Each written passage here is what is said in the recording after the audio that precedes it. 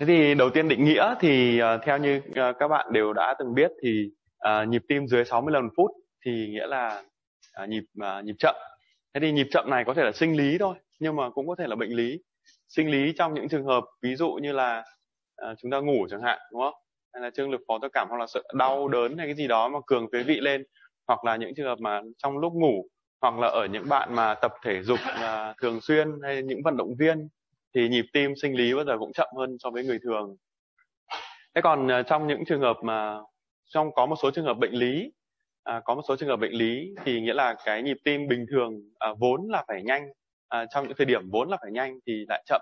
Hoặc là bệnh lý khi mà à, các cái dẫn truyền nó không dẫn truyền theo những cái con đường bình thường mà bị à, tắc nghẽn trong block nhĩ thất cấp 3 cũng là bệnh lý. Hoặc trong một số các cái à, trường hợp khi mà nhịp tim mà không đáp ứng được cái nhu cầu tối thiểu của cơ thể đấy thì cũng được coi là bệnh lý. Thế thông thường thì nhịp tim dưới 60 phút là 60 lần một phút thì được tính là chậm. Đấy, được tính là chậm. Thế thì uh, về mặt uh, phân loại thì nhịp chậm nhưng nhìn chung thì cũng được chia ra làm hai cái cơ chế chính hai cơ chế chính. Hai cơ chế này là uh, ờ, rất là quan trọng về xác định cơ chế uh, vì sau này nó quyết định đến việc là chẩn đoán cũng như là điều trị thế thì về mặt cơ chế thì à, nhịp chậm ở đây có thể là do rối loạn về mặt phát nhịp nghĩa là bản thân nốt xoang phát nhịp bị kém. À, không phát nhịp được không không đảm bảo được cái nhịp thông thường. Vì như các bạn biết là nhịp xoang thông thường là trương lực của nhịp xoang thông thường là khoảng từ à, 70 đến à, 80 lần một phút. Đấy. À, có thể nhanh hơn hoặc chậm hơn nhưng mà thông thường là khoảng 70 đến 80 lần một phút. Thế thì à, khi mà nhịp xoang mà không đáp ứng được cái trương lực à, thông thường đấy à, thì chậm hơn thì người ta gọi là những cái bất thường về mặt phát nhịp. Và khi mà bất thường về mặt phát nhịp đó thì sẽ dẫn đến rất là nhiều các cái uh, rối loạn nhịp thứ phát khác do cái nhịp xoang uh, không đảm bảo được khả năng phát nhịp của chính mình. Thế ngoài ra thì còn có rối loạn về uh, dẫn truyền nhị thất nghĩa là lúc này thì nhịp xoang uh, phát nhịp thì hoàn toàn bình thường nhịp xoang phát nhịp tốt nhưng cái nhịp xoang đó sau khi khử cực tâm nhĩ không dẫn được truyền được xuống thất. Đấy, vì lý do gì đấy mà dẫn truyền giữa nhĩ và thất bị tắc nghẽn bị tắc nghẽn bị cản trở và không dẫn truyền được xuống thất khiến cho thì cái đáp ứng tần số thất bị bị chậm. Và cái định nghĩa nhịp chậm ở đây chính là phức bộ QRS nó bị uh, tần số của phức bộ QRS tần số của thất bị giảm xuống. Chứ còn thực ra về tần số của tâm nhĩ là không hề không hề chậm mà chỉ có tần số của uh, thất là bị chậm thôi. Thế trong những trường hợp đó thì uh, là rối loạn về dẫn truyền nhị thất. Thế còn ở một bệnh nhân bình thường thì hoàn toàn có thể à, bị một hoặc thậm chí là bị gì cả hai loại hình. Vừa bị suy nốt xoang vừa rối loạn về phát nhịp lại vừa rối loạn về dẫn truyền chứ không phải chỉ có một loại. Thế thì về rối loạn về phát nhịp thì à, theo các cái phân loại nhìn chung thì có phân loại ra một số các cái dạng à, rối loạn nhịp chậm à, như sau. Nghĩa là ở bệnh nhân mà có bệnh lý nốt xoang bệnh lý thì có gì à, nhịp chậm xoang này ngừng xoang này à, các cái block xoang nhĩ này hội chứng nhịp nhanh nhịp chậm này hoặc là à, cái này là ừ, giảm khả năng gắng sức nôm na là như thế giảm khả năng gắng sức. Nghĩa là ờ, nhịp tim không đáp ứng với gắng sức thì đúng không nhịp tim không đáp ứng gắng sức. Thế còn những cái trường hợp mà rối loạn dẫn truyền thì bao giờ cũng gồm uh, block nhĩ thất độ 1, block nhĩ thất độ 2, block nhĩ thất độ cao hoặc là uh, block nhĩ thất uh, hoàn toàn hay là block nhĩ thất cấp 3 cấp 3 thì đó là bảng phân loại uh, uh, đơn giản nhất đơn giản nhất và cũng xác uh, gọi là lâm sàng nhất. Đấy về để chúng ta xác định về mặt cơ chế về mặt cơ chế về sau này rất là quan trọng. Thế thì chúng ta đi qua một chút về giải phẫu của hệ thống dẫn truyền. Thì như chúng ta biết là nút nút xoang bao giờ cũng nằm ở gì ạ? Ở vùng cao của nhĩ phải, ở vùng cao của nhĩ phải.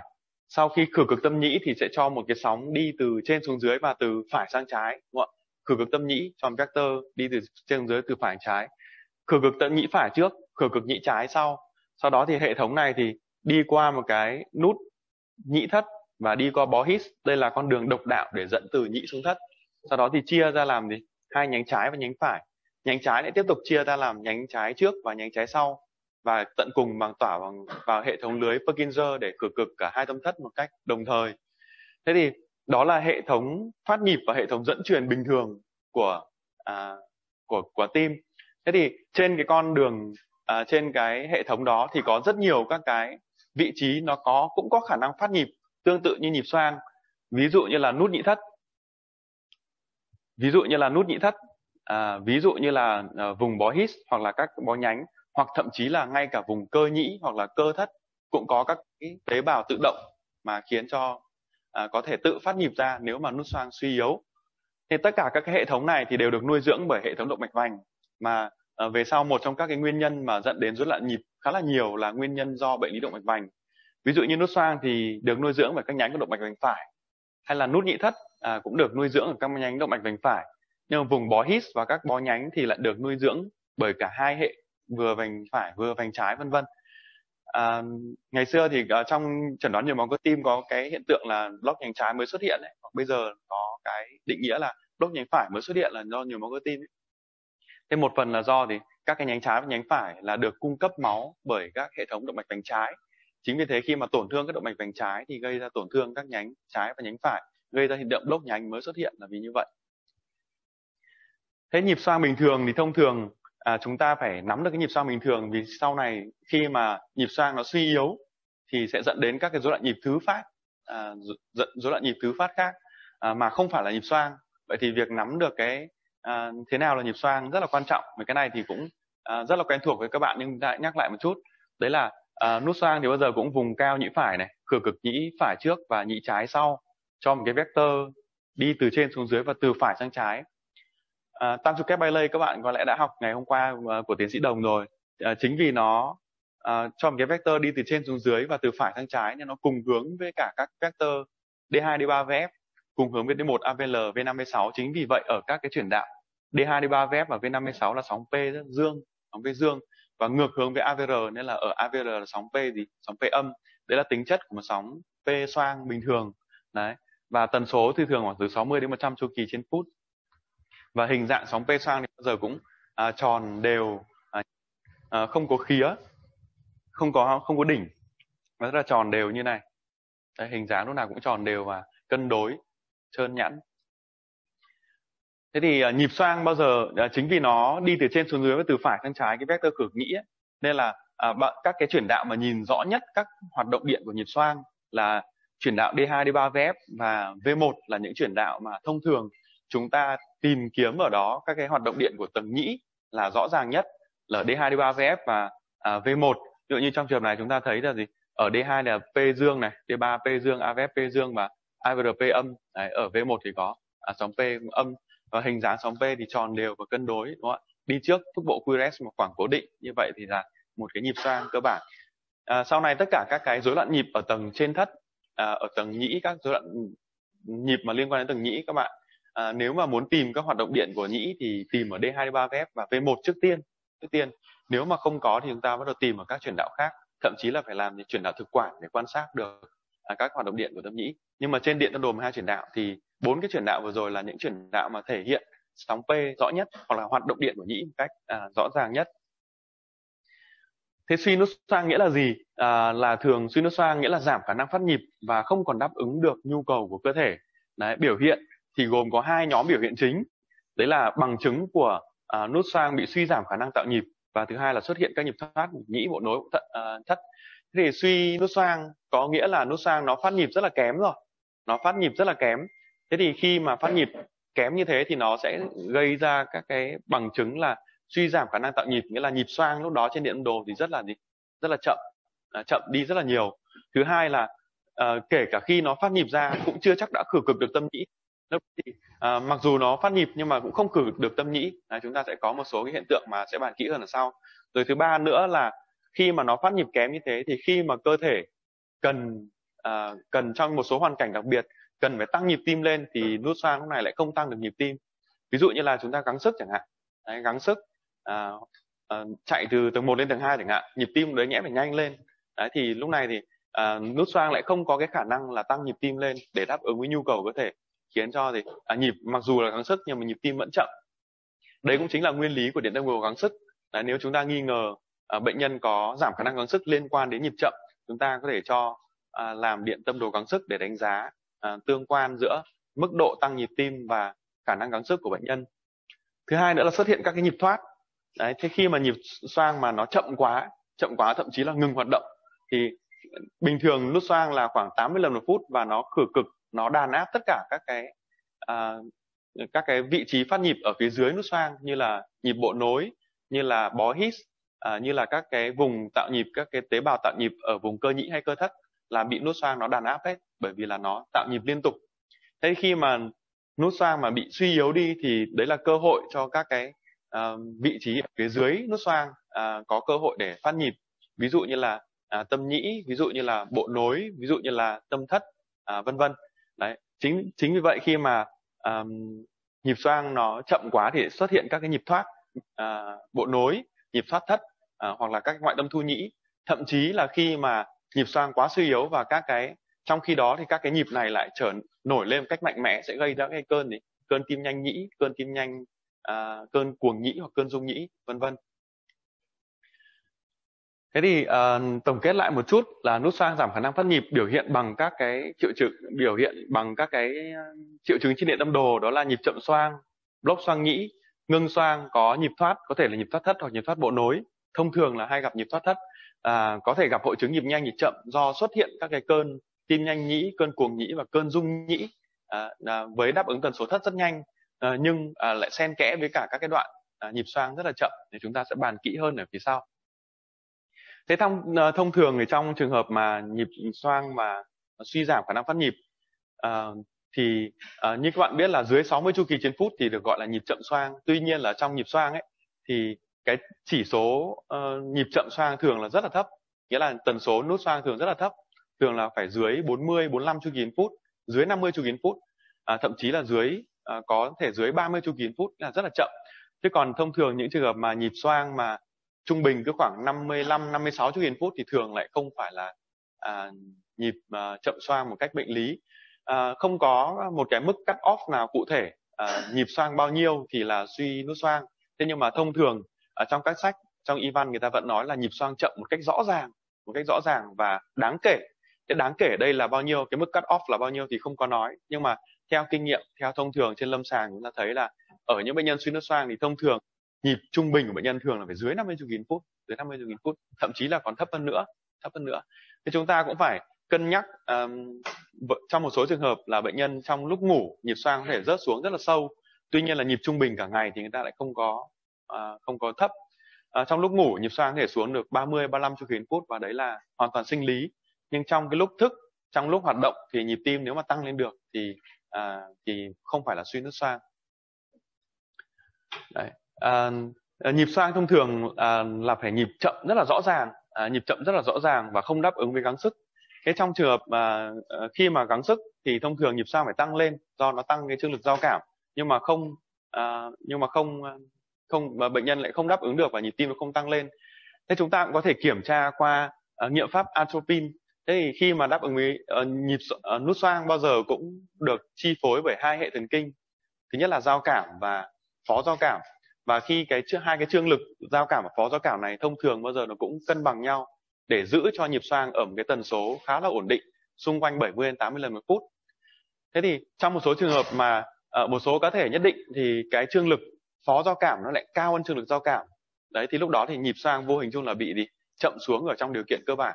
Đấy là bình thường chẳng làm gì nhưng nhịp xoang rất là chậm nhưng tuy nhiên ở những đối tượng đó khi mà người ta gắng sức là cái trương lực giao cảm tăng lên thì nhịp xoang lại cũng tăng lên theo nghĩa là hoàn toàn bình thường đấy thế thì để mà kiểm tra được xem có cái hiện tượng đó hay không thì thông thường người ta sẽ làm nghiệm pháp atropine là tiêm một mg à, atropine thế tiêm atropine như thế thì sẽ làm à, ức chế hoàn toàn hệ phó giao cảm và lúc này là nhịp sang nó chỉ chịu sự chi phối của hệ giao cảm thôi và nó bộc lộ hoàn toàn cái à, khả năng phát nhịp của nó. Đấy. Nên sau khi tiêm atropine làm nghiệm pháp atropine mà nhịp tim tăng lên được à, tăng lên được à, thông thường như trên lâm sàng ta hay lấy mốc là 90 đấy tăng lên trên 90 chu kỳ phút thì nghĩa là nhịp sang hoàn toàn bình thường. Vì khả năng phát nhịp của nhịp sang lúc đó là tương đối tốt trong cái điều kiện mà à, dưới tác động của hệ thần kinh phó giao cảm đơn thuần là nó thể tăng lên được đến 90 lần phút là hoàn toàn bình thường thì đấy là cái à, cơ chế trong nghiệm pháp atropine. Nghĩa là à, tóm lại là ở bệnh nhân suy nút xoang à, và có nhịp chậm xoang thì nhịp này phải không đáp ứng với gắng sức. Và làm nghiệm pháp atropine là tiêm nghiệm pháp atropine nó phải không tăng được nhịp tim nhưng gọi là suy nút xoang. Còn nếu mà vẫn đáp ứng được với gắng sức hoặc tiêm sau tiêm atropine nhịp tim vẫn tăng lên được thì không gọi là suy nút xoang không gọi là suy nút xoang. À, một cái hiện tượng khá là thú vị ở trong à, hội chứng suy nước xoang đấy là đốt xoang nhĩ. Thế thì khi mà nhịp xoang nó phát nhịp phát nhịp nhưng mà lại phát nhịp rất là yếu. Đấy, phát nhịp rất à, thì khi mà phát nhịp yếu như thế thì ờ, không khử không đủ ờ, không đủ cái kích thích để mà khử khử được tâm nhĩ. À, nhịp xoang vẫn phát nhịp rất đều nhưng lại có những cái nhịp mà phát ra nhưng không khử được tâm nhĩ. Không khử khử được tâm nhĩ như thế thì lại khiến cho trên điện đồ sẽ biểu hiện là mất cái sóng P. Và đã mất không khử nhĩ thì đồng nghĩa việc là không khử được tâm thất để mất luôn cả cái nhịp đó thế trên điện âm đồ sẽ thấy mất luôn cả sóng P và phước bộ QRS và chúng ta thấy cái tham minh cái thời điểm của sóng P ở trên điện tâm đồ thì vẫn rất là đều. Đây, ví dụ ở trong trường hợp này. Chúng ta thấy ở, đây là một nhịp xoang này, đây là một nhịp xoang, đây là một nhịp xoang. Và theo như kỳ vọng thì đáng nhẽ ở đây cũng là một nhịp xoang, một sóng P xoang nữa. Nhưng mà chúng ta thấy là sóng P xoang ở đây lại biến mất, kèm theo là biến luôn cả, mất cả phước bộ QRS sau đó thì lại một sóng P xoang, sau đó lại xuất hiện. Và chúng ta nhận thấy là giữa hai cái đoạn PP này thì bằng hai lần một chu kỳ cơ bản. À, chu kỳ cơ bản. Điều đó có nghĩa là à, cứ mỗi một chu kỳ cơ bản à, chỗ này thì đến chỗ này là nút xoang vẫn còn phát nhịp vẫn phát nhịp rất là đều đặn nhưng mà lại không khử được được tâm thất không khử được tâm nhĩ khiến cho bị mất phước bộ PQRS ở đây. Và sau đó đến cái chu kỳ tiếp theo thì cái lần phát nhịp tiếp theo thì nó lại cử cực được tâm tâm nhĩ thì lại xuất hiện phức bộ QRS vậy thì mỗi cái khoảng uh, ngưng mà dài và mà cái khoảng thời gian này chúng ta đo đạc mà bằng uh, một bội số của một chu kỳ cơ bản thì uh, thường là liên quan đến hiện tượng là block xoang nhĩ block xoang nhĩ. Tất nhiên để uh, đảm uh, chắc chắn thì cần phải thăm dò điện sinh lý cơ nhưng trên điện tâm đồ thì đó là một dấu hiệu gợi ý một dấu hiệu gợi ý. Và thường cái bội số đó thường là bằng hai lần thường là bằng hai lần thôi thường bằng hai lần. Đây là một ví dụ khác chúng ta thấy là à, nhịp xoang ở đây nhịp xoang rất là đều nhịp xoang rất là đều. Thì đến cái thời điểm này đáng nhẽ là phải có một nhịp sang rớt vào đây nhưng mà bây giờ lại biến mất. Đấy nhưng mà đến cái thời điểm tiếp theo thì lại xuất hiện. Nghĩa là cái thời điểm về mặt thời điểm là tần số là rất là đều nhau rất là đều nhau. Vậy là nút xoang vẫn phát nhịp rất là đều đặn nhưng mà đến cái thời điểm đó thì nó lại phát nhịp ra một cái nhịp rất là yếu và không cử được tâm nhĩ. Thì đó là một trong những cái bằng chứng liên quan đến à, đến nút xoang bị suy yếu. Nghĩa là cái nhịp phát ra nó không đủ để cử cực tâm nhĩ đây là một cái hiện tượng khá là thú vị khi là khi mà um, block sang nhĩ nó lại kèm theo các cái nhịp thoát bộ nối. Thì chúng ta thấy các cái các cái thời điểm ở đây uh, chúng ta thấy nhịp xoang ở đây nhịp xoang phát nhịp. Thế đến đây đáng nhẽ phải có một cái nhịp xoang nữa nhịp xoang nữa nhưng mà nó lại bị block bị block sang nhĩ không khử tâm nhĩ và mất phước bộ QRS nhưng mà đến tiếp theo cái mũi tên xanh này thì vẫn là gì ạ? À, vẫn là nhịp xoang. Như vậy là về về mặt thời điểm về mặt tần số của nhịp xoang là vẫn rất là đều. Tuy nhiên chúng ta nhận thấy ở đây là phức bộ QRS thì lại đi phía trước sóng P. À, bởi vì là vì sao ạ? Bởi vì khi mà sau khi một khoảng ngừng khoảng ngừng khá là dài như vậy thì à, ở à, nút ở, ở nút nhị thất ở vùng bộ nối đã có một cái nhịp thoát nhịp thoát à, xuất hiện trước khi mà à, nhịp xoang tiếp theo à, nhịp xoang tiếp theo xuất hiện. Vậy thì trong trường hợp này chúng ta thấy đây là một hiện tượng mà à, block xoang nhĩ nhưng mà bởi vì đoạn ngừng khá là dài nên là đã có xuất hiện các cái nhịp thoát bộ nối xuất hiện trước khi cái nhịp xoang kế tiếp à, xuất hiện. À, khác với cả block xoang nhĩ thì à, block xoang nhĩ là nhịp xoang có phát nhịp nhưng không cử được tâm nhĩ. Thế còn ngưng xoang thì là à, nút xoang lại hoàn toàn không phát nhịp được nghĩa là yếu đến mức đấy là à, không phát nhịp nữa mà nghỉ luôn nghỉ luôn không phát nhịp gì nữa. Đấy và cái nghỉ này uh, có thể dài ngắn tùy từng cá thể nhưng mà cũng có những cá thể mà ngừng xoang mà nghỉ rất là dài thậm chí đến mười mười mấy giây. Và theo um, um, từ hồi mình đọc Hunter đến giờ thì có một ca dài nhất là được 10 15 giây. Đấy, bệnh nhân ngất rất nhiều và khoảng ngừng xoang dài tận 15 giây. Và cái đoạn nghỉ này thì nó không phải là một bội số của không bao giờ là một bội số của uh, một chu kỳ cơ bản cả mà đây là thực sự là nốt xoang không hoạt động nữa vì do nốt xoang bị suy yếu và quá mệt mỏi. Thế thì trên điện tâm đồ chúng ta thấy là bị mất sóng P và phúc bộ QRS và cái khoảng ngừng xoang này thường là không liên quan đến chu kỳ cơ bản và có thể có nhịp thoát hoặc là không. Thông thường là sẽ có nhịp thoát. Vì như các bạn biết là nếu mà nhịp xoang mà ngừng một cái à, ngừng tim dài quá là uh, các cái uh, các cái vị trí trên đường dẫn truyền đấy như nút nhị thất này cơ ý cơ thất nó tự phát nhịp ra để quả tim tiếp tục có bóp. Đấy à, lên chiếm quyền chủ nhịp của nút xoang vì nút xoang đỏ đã quá suy yếu rồi thì thông thường sẽ có nhịp thoát. Tự như trong trường hợp này chúng ta thấy à, ở đây là sóng P xoang này P xoang này. Sau đó thì à, có một khoảng nghỉ rất là dài và nút xoang không hề hoạt động nữa. Và khi mà nghỉ dài như thế thì sẽ xuất hiện những cái nhịp à, nhịp thoát bộ nối nhịp thoát bộ nối. Không phải là nhịp xoang vì không có sóng P xoang đi trước không có sóng P đi trước.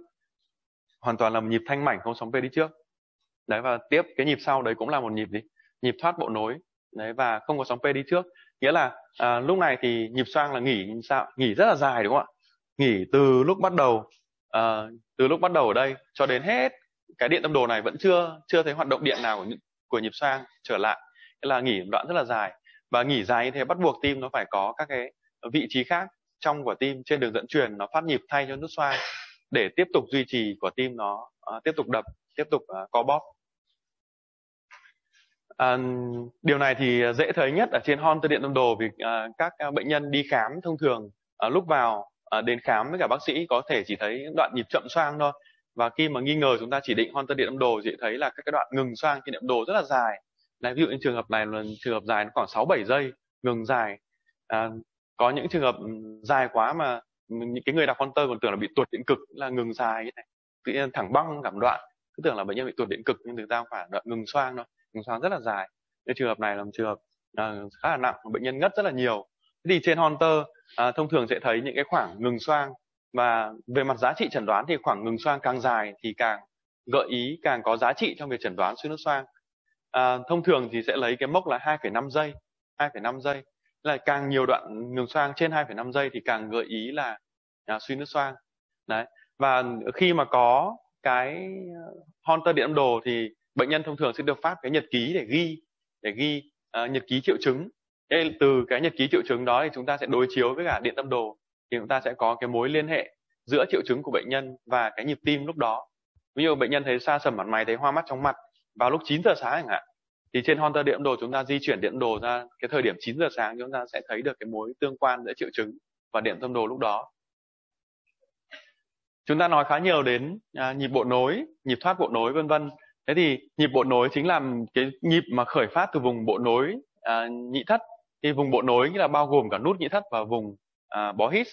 Là từ nút nhị thất cho đến trước chỗ chia đôi của bó hít người ta gọi là bộ nối. Nghĩa là có thể là từ bó hít có thể từ nút nhị thất. Đấy, là người ta nhịp khởi phát từ vùng đó người ta đều gọi là bộ nối. À, nhịp bộ nối này sẽ cho một cái xung khử vì nó nằm giữa nhĩ và thất thì bộ nối là mà là cái về mặt giải phẫu nằm giữa nhĩ và thất. Nên khi mà bộ nối phát nhịp ra thì nó sẽ cho một cái xung đi ngược từ dưới lên trên để khử cực tâm nhĩ và cho một cái xung đi xuôi từ trên xuống dưới để cực cực tâm thất.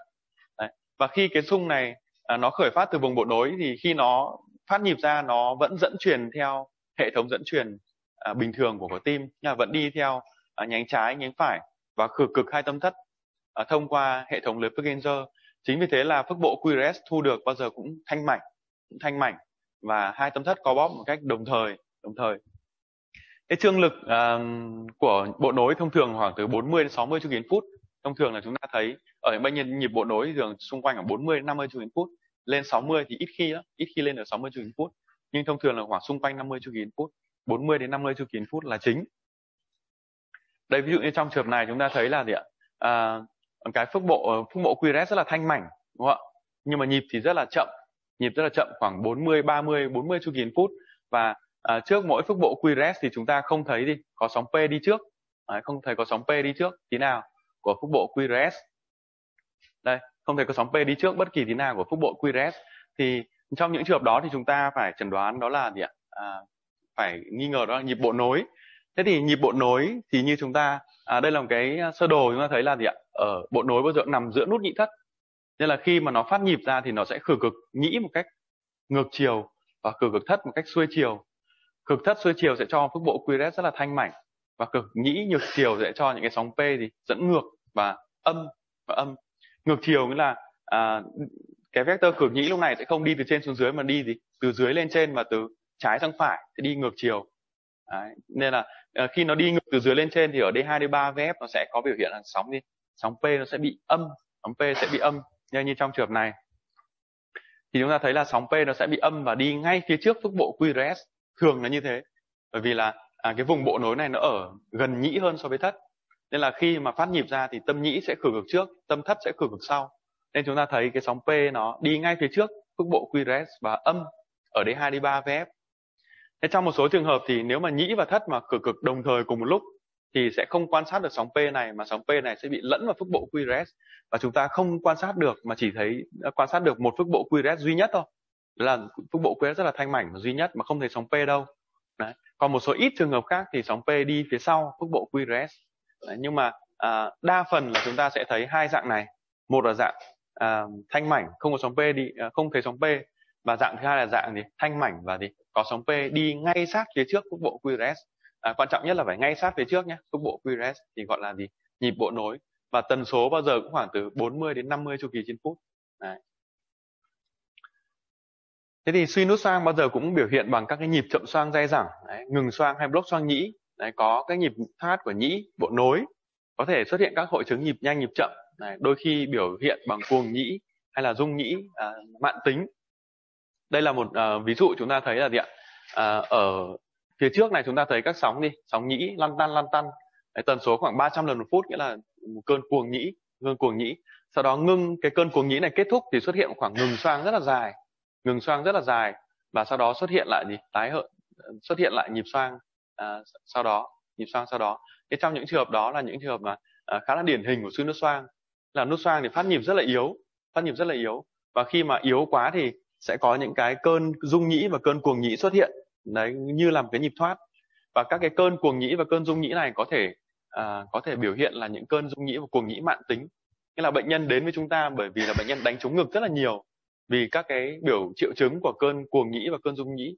Đấy, thế nhưng mà sau khi mà chúng ta chuyển nhịp cho bệnh nhân sốc điện chuyển nhịp chẳng hạn hoặc là triệt đốt để chuyển nhịp à, các cái cơn cuồng nhĩ rung nhĩ đó thì hóa ra lại xuất hiện à, cái cơn gì? À, cơn suy nút xoang à, khi mà bệnh nhân kết hợp là giữa nhịp à, sẽ có những cái thời điểm trong ngày bệnh nhân là có bằng chứng của những cái thời điểm mà nhịp xoang rất là chậm. Đấy nhưng mà xen kẽ giữa đó là sẽ có những cái thời điểm mà nhịp thoát rất là nhanh như là cơn nhanh nhị cơn cuồng nhĩ. Người ta sẽ chẩn đoán đó là cơn nhịp nhanh nhịp chậm. Thế việc uh, hiểu thấu đáo cụm từ nhịp nhanh nhịp chậm nó rất là quan trọng bởi vì nó quyết định là bệnh nhân có uh, phải được điều trị hay không có cần được điều trị hay không và điều trị như thế nào. À, cách đây không lâu thì ở uh, mình uh, có ở một một bạn mà liên hệ với mình thông qua điện thoại thôi. Ờ, ở một bệnh viện uh, tỉnh mình nhớ đi không nhớ tỉnh hay huyện nhưng mà bạn đó đã đọc cái Hunter điện đồ là hội chứng nhịp nhanh nhịp chậm. Thế thì ờ, khi mà xem lại cái Hunter đó thì thực ra lại không phải hội chứng nhịp nhanh nhịp chậm. Vì cái này các bạn hiểu sai hoàn toàn hội chứng nhịp nhanh nhịp chậm.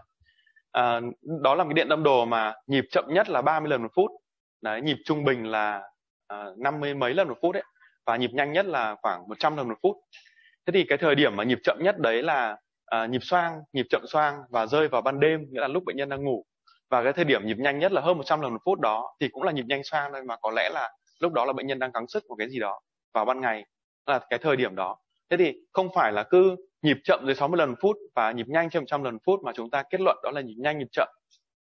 Mà nhịp chậm ở đây phải là nhịp chậm là gọi là chậm cả ngày bằng chứng chậm cả ngày. Rồi có các bằng chứng liên quan đến nhịp thoát bộ nối có các bằng chứng liên quan đến ngưng xoang hoặc là à, có các bằng chứng liên quan đến lốc xoang nhĩ thì chúng ta mới gọi là nhịp chậm chứ còn nếu mà nhịp chậm một cách sinh lý nghĩa là buổi đêm bệnh nhân đi ngủ mà nó chậm xuống 30 lần phút thì hoàn toàn là bình thường và không thể kết luận đấy là nhịp chậm được. Và nhịp nhanh ở đây nghĩa là các cái nhịp thoát nó rất là nhanh như là cơn tim nhanh nhĩ cơn cuồng nhĩ cơn rung nhĩ mà xuất hiện thành các cái cơn tim mà đáp ứng tần số thất rất là nhanh thì người ta mới gọi là à, nhịp nhanh nhịp chậm. Chứ còn nếu mà nhịp nhanh xoang và nhịp chậm xoang xuất hiện trong cùng một ngày ở trên cùng một cá thể là hoàn toàn bình thường. Nếu mà kết luận như thế thì uh, ai cũng bị nhịp nhanh nhịp chậm mất ai cũng bị suy nút xoang mất và hoàn toàn là sai. Vậy thì đấy là một cái uh, một cái điểm mấu chốt mà chúng ta các bạn phải nắm được khi mà đọc Hunter ở những bệnh nhân đang nghi ngờ suy nút xoang là nếu mà nhịp chậm và nhịp nhanh chúng ta phải có cái phân tích về thời điểm phân tích về dạng rối loạn nhịp chúng ta mới có thể kết luận được đấy là nhịp nhanh nhịp chậm. Đây khi mà à, các cái nhịp mà uh, lúc thì nó thành cái cơn nhanh nhĩ hoặc cuồng nhĩ như này rất là nhanh đáp ứng tần số thất rất là nhanh. Chúng ta thấy tần số ở đây dựa khoảng RR là khoảng hai ô lớn nghĩa là khoảng 150 chu kỳ phút. Nhưng mà xen kẽ đó là các cái khoảng gì ạ? À, khoảng ngừng xoang rất là dài đúng không? Khoảng ngừng xoang rất là dài. À, khoảng ngừng xoang rất là dài như vậy thì người ta mới gọi đây là hội chứng gì? Nhịp nhanh nhịp chậm đúng không? Nhịp chậm ở đây nghĩa là ngừng xoang rất là dài đến mấy giây và nhịp nhanh ở đây là các cái cơn nhanh nhĩ và cuồng nhĩ xen kẽ nhau liên tục. Đấy. thế thì cụm từ nhịp nhanh nhịp chậm các bạn phải rất chú ý khi sử dụng bởi vì khi mà đã chẩn đoán là hội chứng nhịp nhanh nhịp chậm thì à, khả năng là bệnh nhân đã được à, được chẩn đoán là suy nút xoang và cần phải điều trị rồi. Có thể cần phải điều trị nhịp chậm có thể cần phải điều trị cơn nhịp nhanh.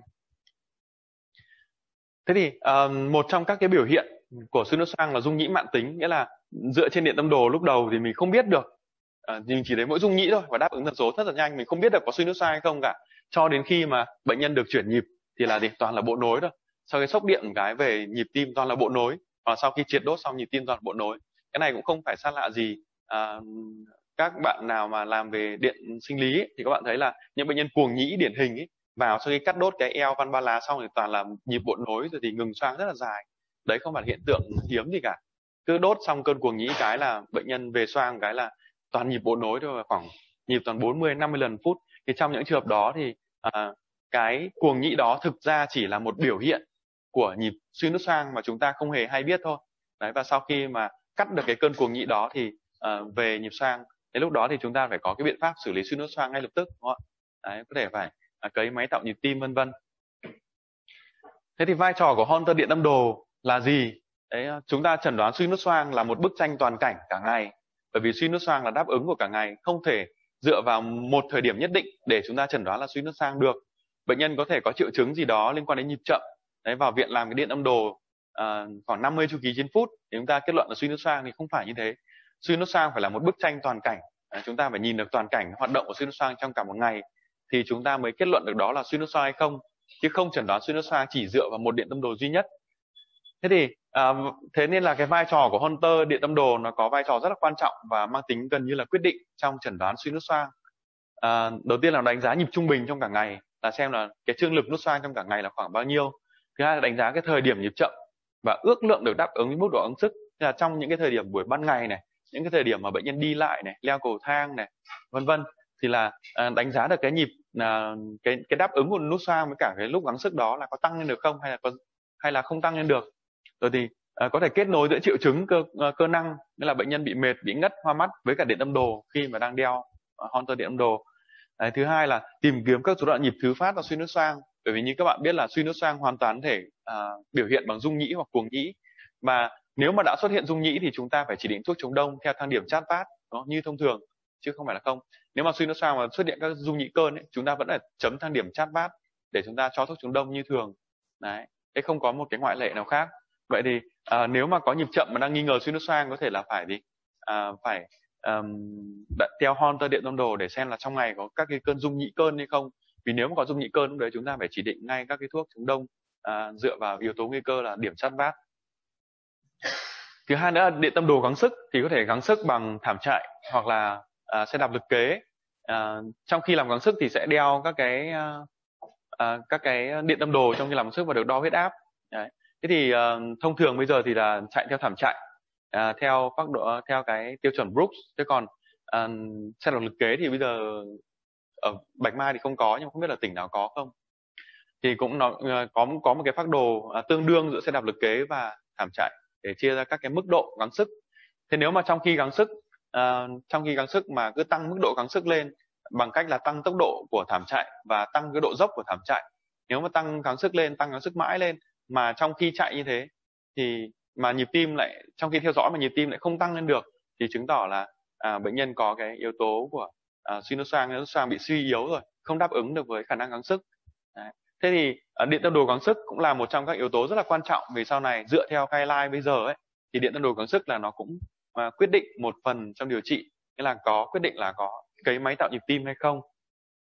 Đấy, thông thường thì à, khi mà đã à, à, khi mà đã gắng sức là nhịp tim nó phải lên lên cao. Nhưng mà nếu mà không lên cao được à, không lên cao được và mệt rất là nhanh thậm chí là không chạy qua được bàn hai không chạy qua được bàn ba thì là đã, thì là chứng tỏ là gì ạ? Giảm khả năng gắng sức mà liên quan đến nhịp chậm.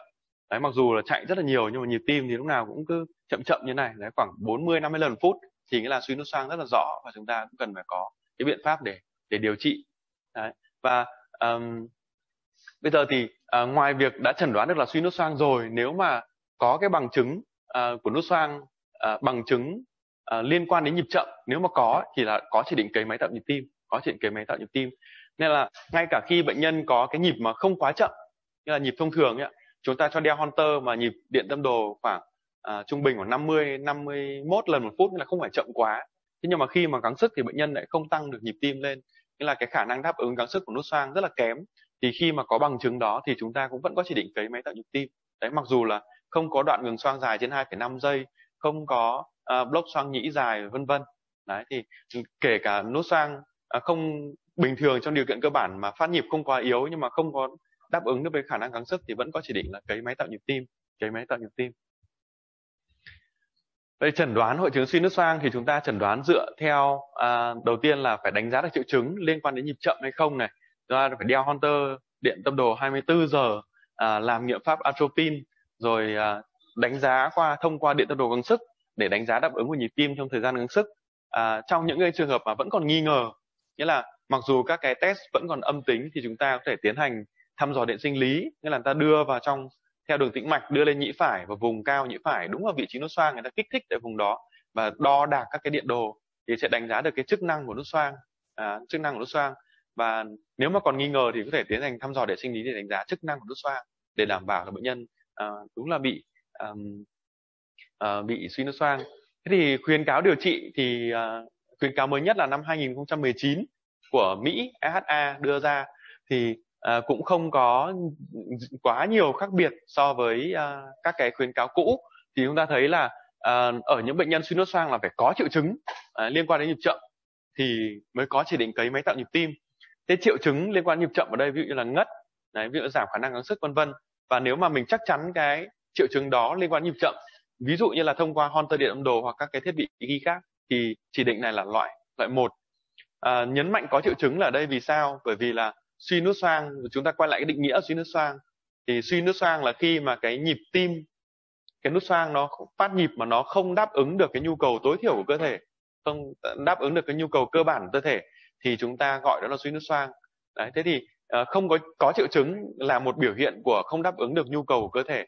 Thế nếu mà nhịp chậm nhưng mà vẫn đáp ứng được nhu cầu của cơ thể là vẫn đi đá bóng được vẫn tennis được vẫn đạp xe 30 cây số được thì không gọi là suy xoang được đúng không ạ? Thì lúc đó thì việc cấy máy tạo nhịp tim thì chỉ có hại mà không có lợi. Vậy thì uh, phải có triệu chứng phải có triệu chứng. Thế thì điểm mới trong uh, trong điều trị uh, suy nút xoang là ở những cái bệnh nhân mà chưa rõ ràng lắm hoặc triệu chứng không không phải là quá nặng nề như là ngất vân vân thì là có vai trò của theophylline. Theophylline. À, có vai trò của theo có vai trò của theophylline trong cái này thì tiếng Anh mà nó lại ờ, mờ quá. À, không không đủ. Thế um, thế thì ở những cái bệnh nhân mà có triệu chứng đấy có triệu chứng hoặc là không rõ ràng triệu chứng thì chúng ta có thể cho uống thử. Thế là nhịp tim thì chậm và có vẻ có triệu chứng mà không quá nặng như là biểu bị mệt hay là bị giảm khả năng gắng sức một cách ờ, nhẹ thôi. Là vẫn đi cầu thang được nhưng mà làm các cái công việc nó nhanh mệt hơn bình thường. Đấy thì chúng ta có thể à, dùng theophylline uh, à, thể thử dùng theophylline đấy. thế thì dùng theophylline này vừa có hai cái à, tác dụng. Một là tác dụng là làm tăng nhịp tim lên xem bệnh nhân có đáp ứng hay không. Thế nếu mà sau khi dùng theophylline mà chả đáp ứng gì cả đấy thì chúng ta cũng có thể có chỉ định là phải cấy máy tạo nhịp tim. Thứ hai nữa là nếu mà dùng theophylline mà nhịp tim bệnh nhân có tăng lên đấy nhưng mà sau khi khoảng một hai ba tháng bệnh nhân uống theophylline à, nhịp tim thì có tăng lên nhưng mà bởi vì theophylline cũng có khá nhiều tác dụng phụ và bệnh nhân thì không có cái kỳ vọng uh, muốn được uống thuốc đến cả đời. Thì lúc đó thì ta dừng theophylline và cho à, uh, cấy máy tạo nhịp tim. Nghĩa là theophylline lúc này mang tính chất là tiên lượng cái khả năng uh, cái hiệu quả của đặt máy tạo nhịp tim trong tương lai. Nếu mà đáp ứng với theophylline nhịp tim tăng lên đấy mà bệnh nhân đỡ gắng uh, đỡ các cái triệu chứng liên quan nhịp chậm thì lúc đó chúng ta chỉ định cấy máy tạo nhịp tim là có cái hiệu quả rất là tốt đấy thì nghĩa là nó đáp ứng với cả nhịp nhanh à, với cả tăng nhịp tim. Đấy thế thì có hai cái ý nghĩa của theophylline trong trường hợp này. Thứ nhất là vừa để điều trị thứ hai là để đánh giá cái hiệu quả của theophylline à, đánh giá cái hiệu quả của tăng nhịp tim đấy, cái đáp ứng của nhịp tim đối với máy tạo nhịp à, trong tương lai. Đấy. thế thì đấy là cái điểm mới đấy là cái điểm mới. Đây nếu mà bệnh nhân sẵn sàng cấy máy thì lúc đó à, thì chúng ta cấy máy. Còn nếu mà bệnh nhân không sẵn sàng cấy máy mà muốn uống thuốc suốt đời thì chúng ta cứ cho uống theophylline suốt đời cũng được. Nếu mà uống theophylline mà tăng được nhịp tim mà bệnh nhân sẵn sàng uống thuốc suốt đời cứ cho uống theophylline thì chẳng sao cả. Nhưng nếu mà bệnh nhân không sẵn sàng thì có thể chuyển sang cấy máy. Đấy, bởi vì là có đáp ứng với cả thuốc đúng không? Còn nếu mà không có đáp ứng với thuốc thì thì phải cấy máy thôi.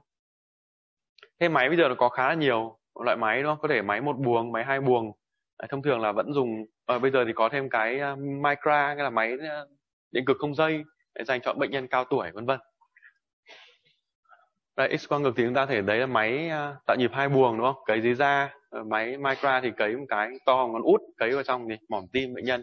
Và tạo nhịp tim tạo nhịp không dây đi đường tĩnh mạch đùi chứ không phải là rạch da ra không phải tiểu phẫu như thế này mà đi đường tĩnh mạch như ở can thiệp ấy nó đặt vào đấy đặt ừ, một cái điện cực vào đó. Ờ, máy tuy nhỏ nhưng mà pin cũng khá là trâu khoảng hơn 10 năm. Đó là phần uh, um, suy nút xoang đấy, phần suy nút xoang à, suy nút xoang là tóm lại thì các bạn biết suy nút xoang là uh, một cái bất thường một cái nhịp chậm do bất thường về phát nhịp. Đấy, một bất thường về phát nhịp dẫn đến nhịp chậm là do nút xoang suy yếu. Và bao giờ cũng có hai bằng chứng một là nhịp thoát hai là gì ạ? Bằng chứng của nút xoang phát nhịp chậm. Đấy có hai nhóm triệu chứng lớn đấy, hai cái đó. Đấy. và chỉ định liên quan đến điều trị của suy nút xoang là phải có triệu chứng là phải chắc chắn được triệu chứng là liên quan đến nhịp chậm. Đấy, có ba cái à, rất là quan trọng thế thì à, bên cạnh việc nhịp chậm do phát nhịp thì còn có nhịp chậm do à, do bị tắc nghẽn đường dẫn truyền tắc nghẽn từ nhĩ xuống thất. Thì người ta gọi là block nhĩ thất. Block nhĩ thất thì cũng có khá là nhiều dạng khác nhau. Chúng ta sẽ đi vào một số dạng cơ bản thôi. Đấy, block nhĩ thất cấp 1 block nhĩ thất cấp 2 à, block nhĩ thất cấp 2 thì lại phân chia thành block nhĩ thất à, cấp 2 morbid 1 hay còn gọi là chu kỳ quen cơ bách. Block nhĩ thất cấp 2 morbid 2 hoặc block nhĩ thất cấp 2 dạng 21 à, có thể có block nhĩ thất cấp 2 à, nhưng mà à, block nhĩ thất độ cao đấy người ta hay gọi block nhĩ thất độ cao nhưng mà không đề cập ở đây nhưng mà có thể có block nhĩ thất độ cao. Nghĩa là à, vẫn là một dạng của block nhĩ thất cấp 2 đấy. tuy nhiên là à, nặng nặng nề hơn. Đấy à, block nhĩ thất cấp 3 nghĩa là block nhĩ thất hoàn toàn và các cái biểu hiện của bệnh lý nhiều phân nhánh bệnh lý nhiều phân nhánh chúng ta sẽ bàn kỹ hơn ở sau. Block nhĩ thất cấp 1 thì rất là đơn giản nghĩa là à, khoảng PR nó kéo dài ra. Đấy, PR nó kéo dài ra. Chúng ta thấy là thông thường PR là Ờ, một ô lớn. Thế nhưng mà trong trường hợp này chúng ta thấy đếm là gì? Đến hai ô lớn. Hai ô lớn thì trong trường hợp hai ô lớn như thế nghĩa là 400 mili giây. Thế bây giờ có một cái cut off à, khá là à, rõ ràng theo guideline mới nhất của Mỹ là 240 mili giây. Người ta gọi là à, gọi là block nhiễm thất cấp 1 một cách rõ ràng rõ ràng à, có ý nghĩa một cách rõ ràng đấy. Cho những cái block nhiễm thất cấp 1 mà kiểu 210 mili giây 205 à, mili giây thì cũng là block nhiễm thất cấp 1 nhưng mà không phải là tiên lượng à, tiên lượng nó vẫn còn tốt còn những cái trường mà block nhĩ thất rõ ràng PR rất là dài trên 240 ms giây thì đánh giá là có thể là một cái tổn thương thực tổn ở đấy tổn tổn tổn thương thực tổn ở đấy và cần phải theo dõi một cách kỹ hơn và và sát hơn. Ví dụ trong trường hợp này là đến 400 mili giây là PR rất là dài. Thì uh, à, block nhĩ thất cấp 2 morbid 1 hay là còn gọi là chu kỳ à, uh, Wenkerbach chu kỳ Wenkerbach thì à, uh, chu kỳ Wenkerbach nghĩa là chúng ta xác định đầu tiên là các cái sóng P ở đây rất là đều nhau đúng không ạ? Thời điểm của sóng P rất là đều nhau. Thế nhưng mà khoảng PR thì từ ngắn thì dài dần ra dài dần ra qua từng nhịp. Và sau đó đến một lúc nào đấy bị bị block. Do cái đường dẫn truyền nó thì quá mỏi mệt. Nó dẫn truyền như thế nhưng mà nó dẫn truyền rất là mỏi mệt. Cứ sau mỗi nhịp thì nó lại dài dần ra. Và đến lúc nào cái đường dẫn truyền nó quá mỏi mệt rồi thì nó bị block luôn đường dẫn truyền lại. Và thông thường sau một nhát block à, cái hệ thống dẫn truyền nó được nghỉ ngơi và hồi phục. Thì đến cái nhát tiếp theo thì khoảng PR nó lại gì? Phục hồi lại bình thường lại phục hồi lại bình thường và bắt đầu một chu kỳ mới. Người ta gọi đó là chu kỳ Wenkerbach vậy thì trên hai sóng P được dẫn khoảng PR dài dần ra và có một sóng P bị block. Người ta gọi là um, chu kỳ Wenkerbach nhớ là chỉ có một sóng P bị block thôi nhé nếu mà hai sóng P bị block thì lại thành cấp 2 là morbid 2 đây là một ví dụ. Chúng ta thấy là gì ạ? À, sóng P à, thời điểm nhịp xoang rất là rất là đều nhưng mà Ờ, PR cứ dài dần dài dần ra qua từng qua từng uh, nhịp và sau đó thì dẫn đến một cái bị block bị block. Và sau khi block thì đường dẫn truyền gần như lại phục hồi khả năng dẫn truyền vốn có ban đầu và lại uh, bắt đầu một chu kỳ mới PR lại ngắn sau đó lại dài dần ra và bị block. Người ta gọi những cái đó là chu kỳ uh, Wankerback chu kỳ Wankerback thế thì uh, đối với những trường hợp mà block nhiễm thất cấp 2 chu kỳ Wankerback thì thông thường cái tổn thương đó cái vị trí mà bị tổn thương thông thường là liên quan đến nút nhĩ thất nút nhĩ thất. À, thậm chí là à, um, block nhĩ thất cấp 2 ven cơ bách có thể gặp ở người bình thường nghĩa là không có tổn thương gì cả mà chỉ đơn thuần là do gì? Trương lực giao cảm phó giao cảm nó trương lực phó giao cảm nó quá cao. Ví dụ như là bị đau quá chẳng hạn bị ai đấy đấm quả bụng đau quá nên nhịp tim tự nhiên thành lóc nhĩ thất cấp 2 uh, ven cơ bách hoặc là trong khi ngủ chẳng hạn là cái trương lực giao cảm hạ xuống rất là thấp đấy, chương lực phó giao cảm nó chiếm ưu thế thì trong khi ngủ các bạn đọc uh, Hunter điểm đồ các bạn đôi khi sẽ thấy là có hiện tượng này uh, chu kỳ quen cơ bách uh, trong ban đêm à, trong lúc bệnh nhân ngủ là hoàn toàn bình thường đấy. thế trong một số trường hợp bệnh lý thì các cái tổn thương mà liên quan đến nút nhị thất thường gây ra chu kỳ quen cơ bách đấy và biểu hiện là khoảng PR dài dần ra. Thế tuy nhiên là bởi vì nó là bất thường của hệ thống dẫn truyền nên là các cái uh, các cái uh, tần số sóng P thường là không thay đổi và rất là đều bởi vì à, cái hệ thống phát nhịp của tim nó vẫn bình thường vẫn hoạt động cách trơn tru và đều đặn một cách bình thường. Nên các sóng P nó phát nhịp ra nhịp sang phát nhịp ra vẫn liên tục và bình thường rất là đều nhau. Chúng ta thấy uh, các cái thời điểm sóng P rất là đều rất là đều. Đấy, rất là đều nhau. Thế thì khi mà thời điểm sóng P mà cứ đều đều như thế nghĩa là cái hệ thống phát nhịp của tim là hoàn toàn bình thường không có vấn đề gì cả. Đấy thế nhưng mà PR lại cứ dài dần dài dần ra và bị bị mất đúng không? Thế thì uh, đặc điểm ở trong uh, chu kỳ của Enkelbach nghĩa là tần số sóng P thì đều nhưng mà tần số thất thì thì không đều đúng không? Tần số thất thì không đều. Bởi vì thất cứ cứ một sau một đoạn lại bị uh, ngắt mất bị block mất. Tần số thất cứ sau một đoạn lại bị bị block mất. Đấy thì gọi là tần số thất thì không đều. Đấy. thế thì khi mà chúng ta đọc điện tâm đồ nếu chúng ta đang nghi ngờ chu kỳ quen cơ bách chúng ta cứ đo cái thời điểm phức bộ QRS nếu mà QRS không đều thì nhiều khả năng là quen cơ bách nhưng nếu mà phức bộ QRS mà đã đều ấy thì rất hiếm khi là là chu kỳ quen cơ bách. Nếu mà thấy một cái block nhị thất mà phức bộ QRS rất là đều thì chúng ta phải coi chừng đó không phải là chu kỳ quen cơ bách đâu mà là mạnh là, là nặng hơn đấy. Tức là block nhị thất cấp 2 hoặc là block morbid 2 hoặc là block nhị thất cấp 3 hoàn toàn. Đấy, còn nếu mà đã là quen cơ bách thì nhịp thất thường là rất là đều à, thường là không đều nhau. Đấy vì nó bị drop mất một hai cái nhịp. Uh, block đó là block nhị thức cấp 1 thế còn block nhị thức cấp 2 là là gì? Thì block nhị thức cấp 2 nghĩa là có nhiều hơn hai sóng P được dẫn. À, khoảng PR thì cố định sau đó thì một sóng P bị block một hoặc nhiều hơn một sóng P bị block như trong trường hợp này. Ta thấy là dẫn này P dẫn phức bộ QRS P dẫn phức bộ QRS và PR này thì rất là gì? Rất là cố định. Và sau đó thì à, bị block. À, bị block nghĩa là không có P nhưng không có phức bộ QRS nghĩa là um, trong trường hợp này thì chúng ta thấy là có nhiều hơn hai sóng P được dẫn nhưng mà khoảng PR thì khá là cố định và không có hiện tượng dài dần ra của phức bộ QRS đây chúng ta thấy trong trường hợp này. Uh, P, uh, ờ, PR khá là cố định PR khá là cố định có cái nhịp và sau đó thì đến một nhịp thì bị bị block mất. Đấy sau đó PR dẫn sau đó bị block. Đấy, nghĩa là xen kẽ nhau. Đấy, xen kẽ nhau. Đây uh, PR dẫn này bị block dẫn một nhịp dẫn hai nhịp thì PR rất là bằng nhau và không có hiện tượng dài ra. Sau đó thì đến nhát tiếp theo thì bị bị block.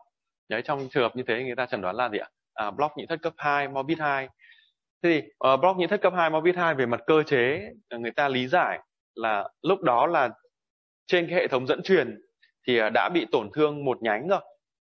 Đã bị tổn thương một phần trên hệ thống dẫn truyền thường là nhánh trái hoặc nhánh phải đấy, hoặc là một phần không điển hình thế thì khi mà đã tổn thương một nhánh rồi thì tại một cái thời điểm nào đó thì cái nhánh còn lại vốn đã bị tổn thương sẵn rồi nhưng chưa đứt hẳn thì à, lúc nó dẫn lúc nó không. Thế thì lúc nó dẫn qua một cái thì là dẫn à, PR dẫn như này. Ấy PR, PR dẫn như này. Nhưng mà sau cái à, nhát này thì cái nhánh còn lại nó không dẫn được nữa thì bị bị block. À, như trong trường này chúng ta thấy là à, V1 có dạng gì? Block nhánh đi block nhánh phải là V1 dương đúng không? Có dạng block nhánh phải. Nghĩa là lúc này nhánh phải bản thân ở điều kiện bình thường là nhánh phải đã không dẫn được rồi là đã bị block rồi. Đấy kèm theo à, nhánh trái cũng bị tổn thương nhưng tổn thương này nó chưa đứt hoàn toàn và từng lúc từng lúc một. Nên là à, lúc mà trong điều kiện cơ bản thì là có dạng block nhánh phải nhưng trong à, các cái nhịp tiếp theo thì nếu mà nhánh trái nó không dẫn được nữa thì là nó cũng bị block hoàn toàn luôn. Vì lúc này sung đi từ nhị xuống thất à, không đi qua được nhánh phải cũng không đi qua được nhánh trái nữa nó không dẫn được tâm thất nữa. Nên là sẽ gì? Dẫn đến block nhị thất cấp 2 Đấy, thông thường là sẽ có hiện tượng như vậy. Block nhị thất 21 là một dạng đặc biệt của mà block nhị thất cấp 2. Block nhị thất 21 là cứ có một nhịp dẫn, à, cứ có một nhịp dẫn lại có một nhịp không dẫn, một nhịp dẫn lại có một nhịp gì không dẫn. Thế thì như trong block nhị thất cấp 1, morbid 1, chu kỳ quen cơ bách, nghĩa là có phải có sự dài dần ra của phúc của đoạn PR, sau đó thì bị mất phúc bộ QRS. Còn trong block 21 thì bởi vì có một nhịp dẫn nhịp sau đã mất rồi nên chúng ta không biết được là có dài dần ra phúc bộ QRS hay không. Đấy nên là trong trường hợp mà block 21 người ta không biết chắc chắn được đó là morbid 1 hay morbid 2 chính vì thế nó làm dạng đặc biệt của chu kỳ quen à, của à, block nhị thất à, cấp 2 đấy. Nhà cứ có một sóng P dẫn lại một sóng P thì à, bị block. Đây như trong trường hợp này chúng ta thấy là cứ một sóng dẫn lại một sóng không một sóng dẫn một sóng không. Thì trong những trường hợp đó thì chúng ta không biết được đây là quen cơ bách hay là đây là block nhị cấp 2 morbid 2 nữa. À, không biết cái mức tổn thương là ở quanh nút nhị thất hay là mức tổn thương là nằm ở dưới nút nhị thất đấy người ta không phân biệt được. Nên người ta gọi nó block nhĩ thất 21 lúc này à, à, phải làm các cái xét nghiệm sâu hơn hoặc làm lại điện tâm đồ nhiều lần thì chúng ta mới quyết định được đây là block nhị thất 21 này là morbid 1 hay là morbid 2 thế có một cái vấn đề chúng ta rất hay bị nhầm. Đấy là block nhị thất à, dạng 21 này bị nhầm với cả ngoại tâm thu nhĩ bị block. Ngoại tâm thu nhĩ bị block. Nghĩa là ở đây chúng ta thấy làm điện tâm đồ này đáp ứng tần số thất rất là chậm nhịp thất rất là chậm khoảng năm mươi mấy lần một phút thôi thậm chí là thấp hơn 50 lần một phút. Thì chúng ta thấy là cứ uh, có một sóng P dẫn lại một sóng P không dẫn một sóng P dẫn lại một sóng P không dẫn. Đấy một sóng P dẫn lại một sóng P thì không dẫn. Như vậy là uh, trông như là block nhị thất 21 vậy. Thế tuy nhiên chúng ta uh, lưu ý rằng ở trong trường hợp này chúng ta thấy uh, đây là một nhịp xoang đây là một sóng P xoang. Đấy thế thì giữa hai sóng P xoang này đáng nhẽ một cái nhịp xoang kỳ vọng nó phải rơi vào giữa đây rơi vào giữa hai nhịp xoang kỳ vọng này. Thế nhưng mà ở giữa hai nhịp xoang kỳ vọng này thì chúng ta lại không thấy bất kỳ một hoạt động điện của nhĩ nào mà hoạt động điện của nhĩ trong trường hợp này lại gì? Đến rất là sớm đến rất là sớm đến trước cái sóng P kỳ vọng. Đấy. là đến sớm hơn so với kỳ vọng. Và cái hình dạng sóng P này thì có vẻ như lại không giống với cả sóng P xoang lắm. Đấy, không giống. Nó lẫn vào khúc bộ sóng của sóng T đi trước nhưng mà chúng ta nhìn sơ bộ có vẻ như không giống sóng P lắm. Vậy thì cái sóng P phẩy này là một sóng P phẩy đến sớm hơn so với kỳ vọng và có hình dáng khác với sóng P xoang thông thường. Vậy thì trường hợp này là một trường hợp gì? À, ngoại tâm thu nhĩ bị block. Ngoại tâm thu nhĩ bị block. Ngoại tâm thu nhĩ bị block là gì? Nghĩa là khi một cái ngoại tâm thu nhĩ đến rất là sớm nó khử cực tâm nhĩ. Nhưng mà vì nó đến quá sớm nên là lúc này cái các cái hệ thống nút nhĩ thất và bó hít vẫn đang trong cái thời kỳ trơ tuyệt đối. Đấy, vì thời kỳ trơ của nút nhĩ thất khá là dài thì khi mà cử nhĩ xong thì đi xuống nút nhị thất thì đáng nhẽ phải dẫn con nút nhị thất nhưng lúc này lại không dẫn được vì nút nhị thất đang thì nằm trong thời kỳ trơ tuyệt đối và nó không nhận bất kỳ một kích thích nào đi từ trên xuống dưới khiến cho thì cái xung này nó không đi được qua nút nhị thất không xuống được dưới tâm thất để cử cực tâm thất khiến cho thì có phức bộ có sóng p phẩy nhưng lại không có phức bộ qrs đi theo sau. Đấy, trường hợp đó người ta gọi là ngoại tâm thu nhĩ bị block và khi có ngoại tâm thu nhĩ bị block thì vô hình chung là gì?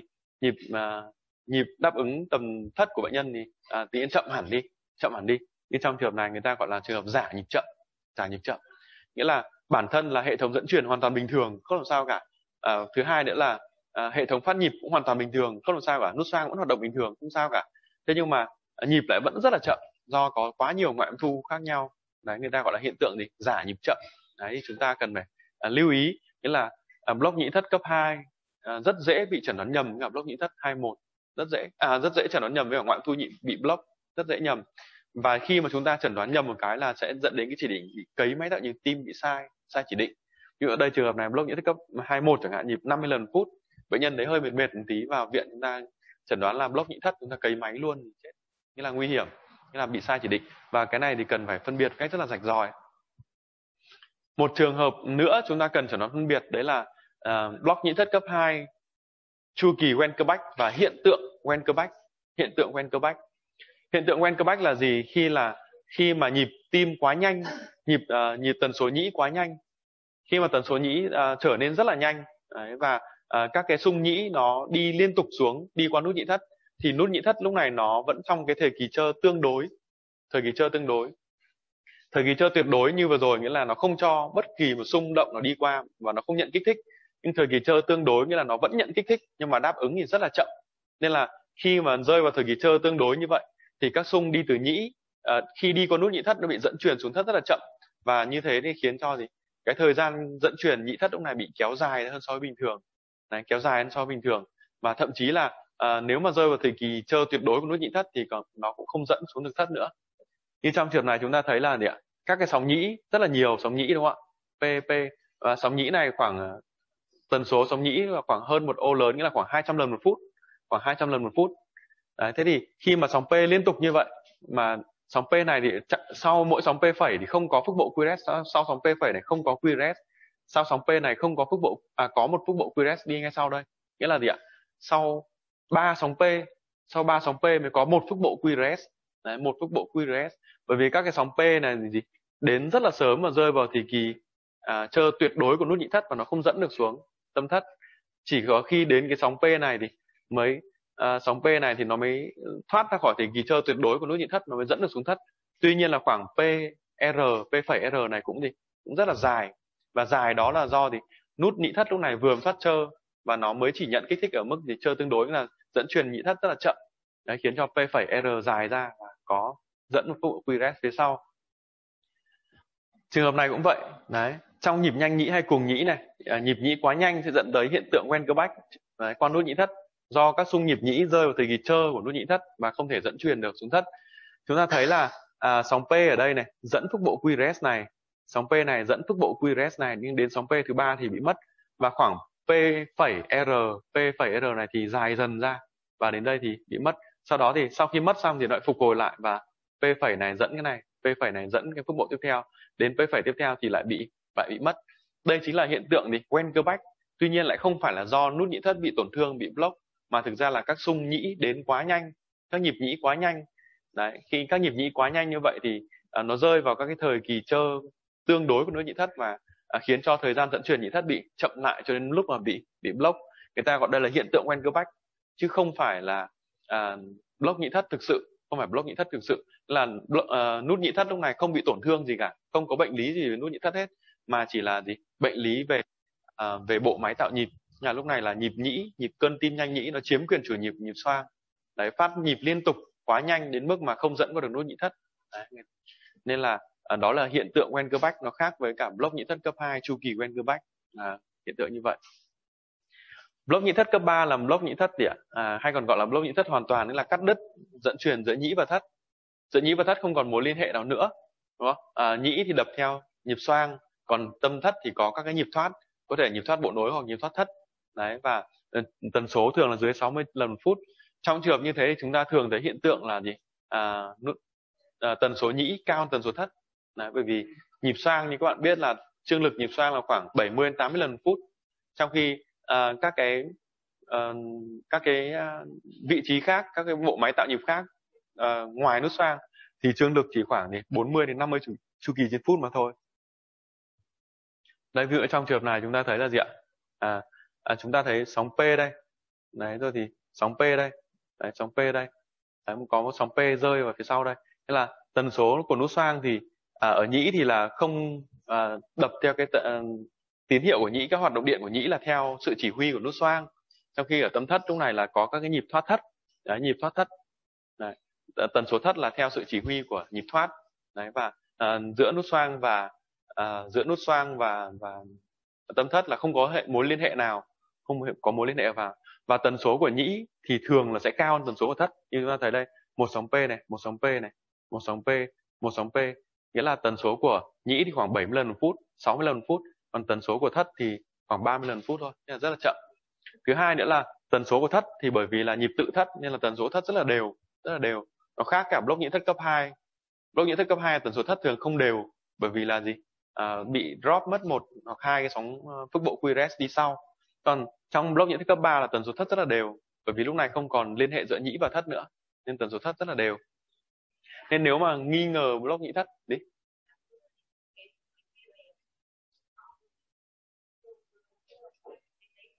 Đây ấy hả? Thế thì cũng có, cũng thể có, vẫn có cái nhát mà nó dẫn được. Nghĩa là block nhĩ thất cấp ba nó không phải hoàn toàn cái nhát cuối này thì có thể là nó dẫn dẫn ờ, tạo thành dạng block nhánh dẫn block nhánh. Nhưng mà cái phần phía trước này thì chúng ta thấy là gì? Nhịp rất là đều. Đến cái đoạn này thì không đều nữa.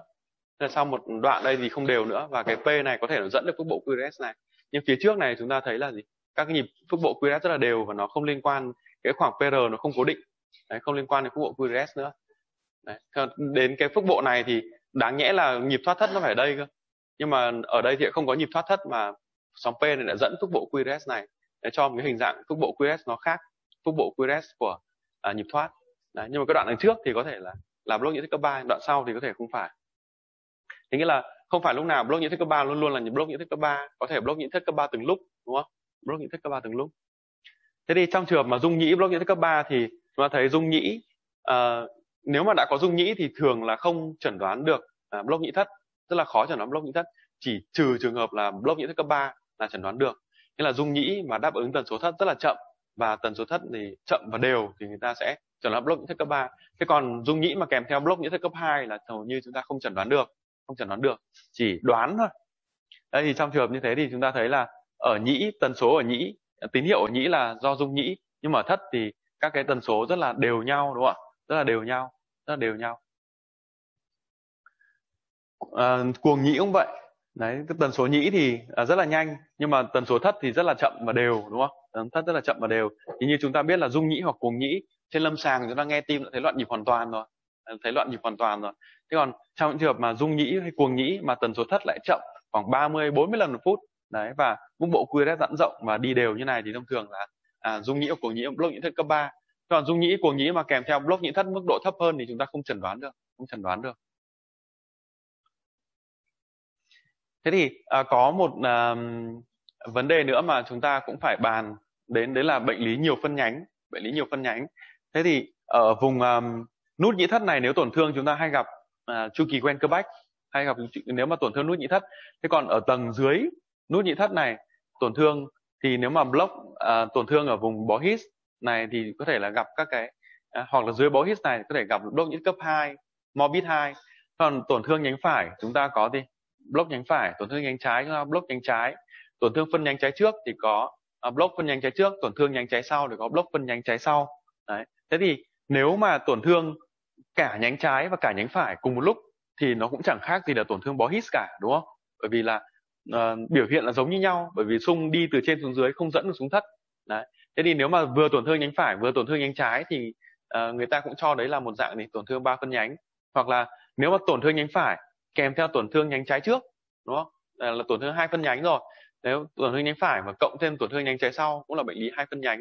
Đấy, hoặc là à, tổn thương nhánh phải ừ, cộng thêm tổn thương nhánh trái trước và nhánh trái sau mà không phải là thân chung của nhánh trái thì người ta cũng gọi là bệnh lý đi bệnh lý ba phân nhánh bệnh lý ba phân nhánh.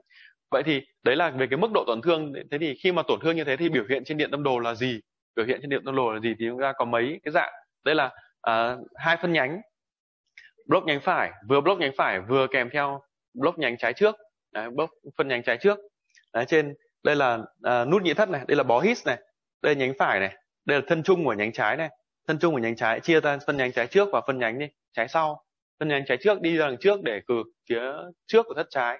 Phân nhánh trái sau đi ra đằng sau để cược cánh sau thất trái. Nếu mà tổn thương cả hai nhánh này thì người ta gọi là bệnh lý hai phân nhánh. Lúc đấy thì trên điện âm đồ chúng ta thấy là có dạng này à, block nhánh phải có dạng block nhánh phải bởi vì tổn thương nhánh phải.